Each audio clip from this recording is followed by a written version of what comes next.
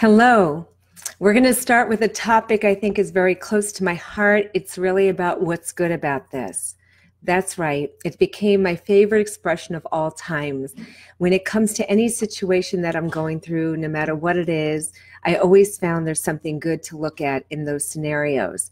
The challenge is in the past, my life was all about what was wrong with this.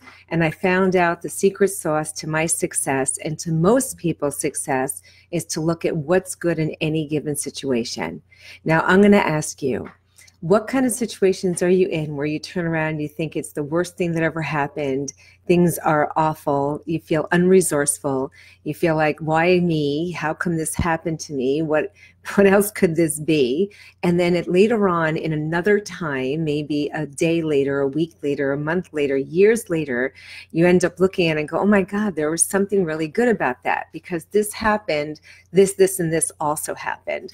So when you start realizing that you can actually change the trajectory of your life by asking better questions a quality question versus what's wrong or why me or why why is this always happening to me or any other question you may have about yourself a better question is what's good about this I remember years ago, I'd be speaking to my friend, and no matter what was going on, she'd always tell me all the problems. And to me, the problems she was complaining about, I would have loved to have had those problems, like, you know, having a family help and give money towards renovation of a house, but it wasn't exactly the way they wanted it to be. And I'm thinking, I would have loved to have had somebody give me money to renovate my house.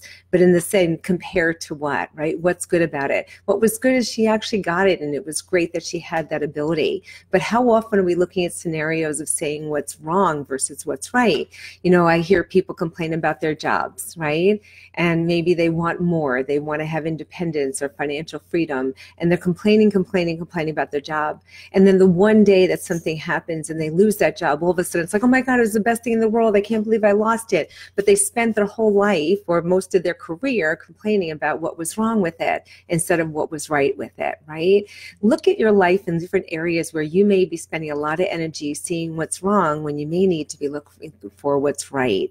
And then find out if the stuff that you're thinking is wrong has become a self fulfilling prophecy where you've gotten yourself in a situation where you're not fulfilled, you're not happy, you're not getting what you want, you're not.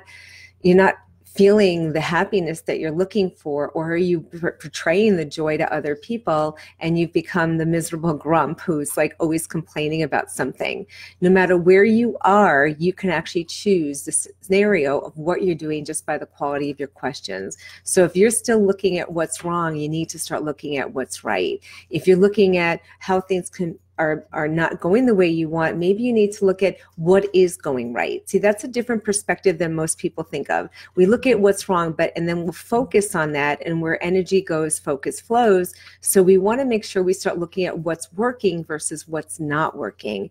And then you put the energy more towards what's working so you can have more of that. A lot of times i find that people will turn around and look at their business and say well things aren't exactly where i want them to be and they look at all the things wrong and they put a lot of energy into focusing on all the things that are wrong.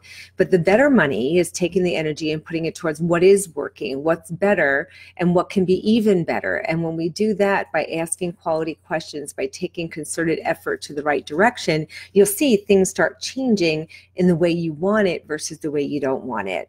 The other question I love to ask is actually compared to what? You know, I heard somebody once complaining about something in an area where I didn't think it was a big deal, but to them it was. And we were at a charity event and someone was complaining about a challenge they had. And i'm thinking oh my god you know i would probably do anything to have that challenge where to, to them it felt like a challenge. To me it would be like that would be a quality challenge to have.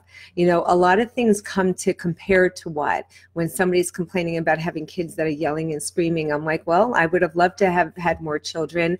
I have my stepson but we couldn't have other children and we did attempt for eight years. So compared to not having them when you want it well i'd rather have the screaming children right? So compared to what? You know you're not happy with your home but maybe your home is beautiful compared to someone who doesn't have one Maybe you're not happy with your size, but to somebody else, you, they probably would love to be your size where you're thinking, wow, this is too big for me, but for somebody else, that would be a victory. So compared to what? I think a lot of times in our lives, we, we look to see, we may compare it to our own standards of what we're looking to push through. And I think that's amazing. But are we using the words that we're using to hurt ourselves or to help ourselves? Are we comparing ourselves to other people, which is really not the best way to go about? But maybe we need to compare ourselves to where we are and where we want to be. Maybe we need to appreciate where we are and change our expectations for appreciation. And when we do that, you'll find there's even more abundance that comes because you open up the opportunities to be able to see things you didn't see before. Where I think a lot of times we're just focused on what's not working versus what is. And doing that is super, super important to notice the difference. So I want to say hi to my friends, Beth and Stephen and Mike and Heather and people who are joining. So I did not notice you there. I felt like I was on a roll with a little bit of a rant.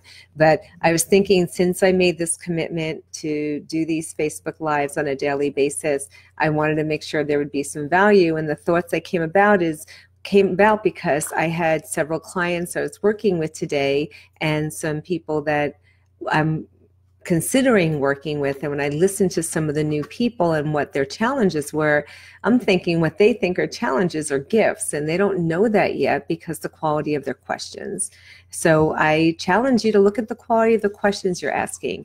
Are you turning around and defaulting to things that are going to give you a negative answer? Or are you asking quality questions that will give you positive solutions? Are you looking at what's wrong? You're you looking at what's right? Are you living in appreciation or are you living in expectations? And when you start making these little shifts and live in gratitude and live in appreciation, I'm going to tell you life gets a lot, lot better. And it makes it really easy for you and everyone around you and hopefully this gave you some value. If it did, write yes. And love to have you share it and join me again tomorrow. Love you. Bye.